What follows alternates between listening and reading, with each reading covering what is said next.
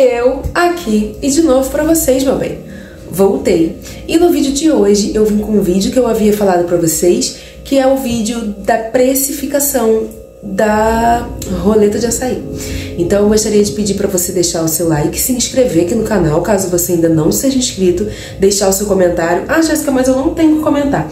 Comenta aqui para mim roleta de açaí. Assim você já me ajuda e toda vez que alguém comentar, toda vez que alguém pesquisar isso no YouTube, o YouTube vai indicar pra pessoa, tá show? Tô falando um pouquinho mais baixo porque já tá tarde e eu tô um pouco cansada.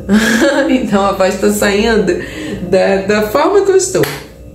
Tá show, galera? Então vamos lá, ó. Gente, eu já venho de início falar para vocês que a barca ficou em um ótimo preço de custo e dá para ter um ótimo lucro nela. Então vale muito a pena você fazer a barca de barca não, cara.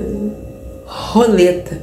Se eu falar durante o vídeo barca, vocês me desculpem. E tenha em mente que é roleta. Se eu falar barca, ainda vai ser roleta, tá bom?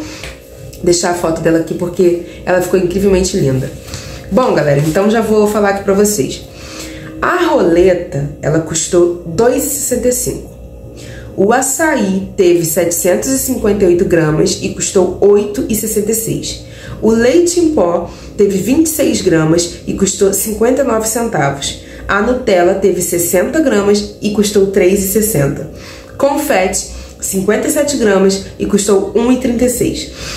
As gotas de chocolate tiveram 55 gramas e custou 1,60. O morango teve 56 gramas e custou 2,55. A banana eu usei metade, então eu é, estimei o valor a 50 centavos, tá? Porque a banana, gente, eu acabo não. Para o cálculo ser mais assertivo, eu deveria calcular o valor do quilo e a grama.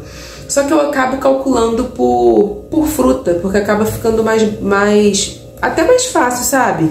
Fica até melhor para você que talvez não tenha uma balança, mas já quer fazer.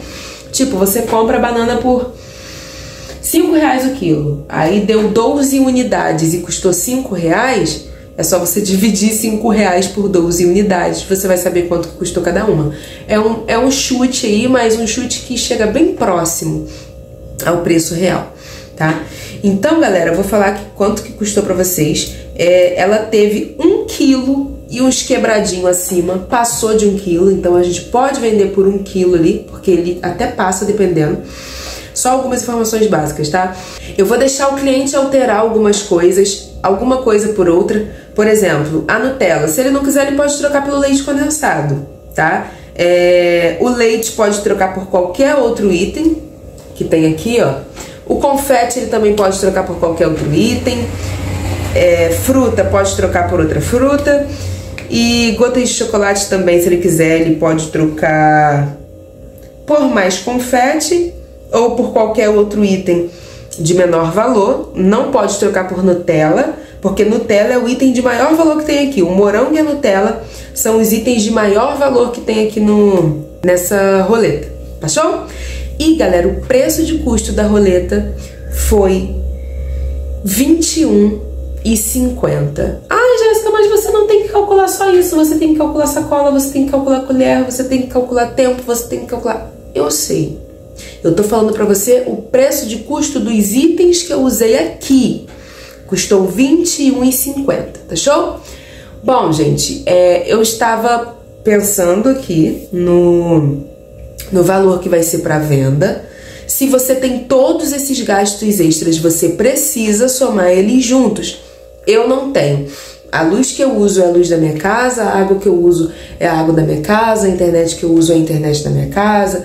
Então tá tudo integrado à minha casa. Eu não tenho gastos extras aqui com a loja, entendeu? Então, tendo em vista isso, eu pesquisei aqui, eu já tinha visto a base de preço que eu iria colocar para venda e eu pesquisei para ver como estão os preços dos meus concorrentes e bateu um preço ótimo, gente. O preço para venda da roleta de açaí de 1 kg aqui na minha loja vai ser de 40 reais, tá bom? E aí eu vou ver o preço que eu vou colocar no iFood, vou jogar a margem deles aí. E eu pesquisei aqui, gente, e a roleta mais barata que eu encontrei foi de 35 reais porque está na promoção. porque estão vendendo por 40, 45, 50 e até 60 reais. E nenhuma delas vai Nutella, que vocês sabem que é o item. Gente, eu acho que Nutella tá sendo o item mais caro. Comenta aqui pra mim se, baseado em tudo isso que você tá vendo aqui, todas as opções que eu tenho, se Nutella não é o mais caro. Eu acho que é. E nenhuma delas tem a Nutella, gente. E 60 gramas de Nutella é uma Nutella caprichada, tá? Então é. Eu achei que 40 reais tá um preço acessível, tá um preço legal. Eu vou ver se eu encontro uma barca menor, porque eu quero ter um item menor ali, menor ainda, para poder abranger esse público que quer comprar. Bom, talvez tenha uma pessoa que quer comer uma barca sozinha né? Ela pode também, tem gente que come essa barca de um quilo sozinho. Só que às vezes a pessoa quer uma barca de 500 gramas, por exemplo, como foi o caso que eu achei que ela ficaria. Então eu vou ver, né, se eu encontro uma barca ainda menor, mas essa barca já vai fazer parte aqui do meu cardápio, gente, porque eu super amei ela, ela ficou incrivelmente linda e eu acho que vai conquistar muitos clientes. Essa barca não, essa roleta, essa roleta de açaí, gente. E aí, o que vocês acharam? Comenta aqui, comenta aqui o que você gostaria de ver aqui no meu canal, tá, galera? Aqui na lojinha. Comenta aí é, qual item que você gostaria de ver, que ainda não tem. Eu vi que vocês comentaram que vocês gostariam que eu usasse mais cremes e também sorvete. É, eu tô querendo colocar o creme de ninho só que eu fiquei muito na dúvida se eu produziria ou compraria ele. O creme de ninho não é um creme muito barato e só teve uma pessoa que pediu aqui, gente. Então eu não sei se eu coloco ele, mas eu tô querendo colocar. Talvez de início preparando. Eu não gosto muito de começar de uma forma e mudar depois, porque o seu cliente fixo ele quer sentir aquele mesmo gosto. Então eu gosto de padronizar muito as coisas que eu uso. Por isso que eu uso balança, gente. Porque não como você padronizar certinho. Ou você tem que ter uma balança ou você tem que ter um medidor. Aí você consegue padronizar. Fora isso, fazendo no olhômetro, é muito difícil você padronizar. E o cliente ele não gosta dessas alterações de sabor. Ele provou um negócio gostoso, ele quer provar gostoso da mesma forma ou mais gostoso ainda, o que é difícil.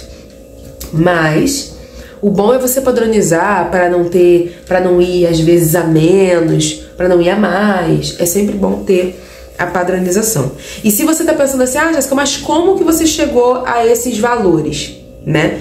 Que, que você faz? Aqui tem um vídeo de como calcular. É esse vídeo aqui, ó. É só você ir lá que você vai saber como calcular. Mas uma explicação bem simples aqui.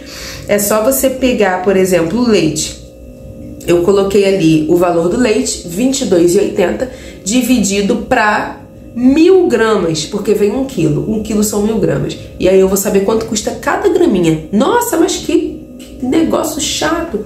Sim, é assim que você vai fazer um cálculo completamente assertivo. Sabendo quanto custa cada grama, você multiplica pela quantidade que você usou.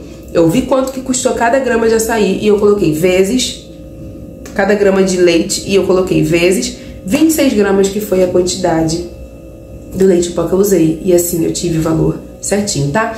Então faz tudo isso que eu te falei, comenta aqui o que você gostaria de ver, enfim, tudo isso, gente. Eu tô com muitas ideias de vídeos legais para trazer, mas eu gostaria de contar com a sua ajuda, se inscrevendo, compartilhando, comentando. Comenta aí para mim, por favor, roleta de açaí, já vai me ajudar. Ou você comenta o que você pensou aí. Aí você comenta.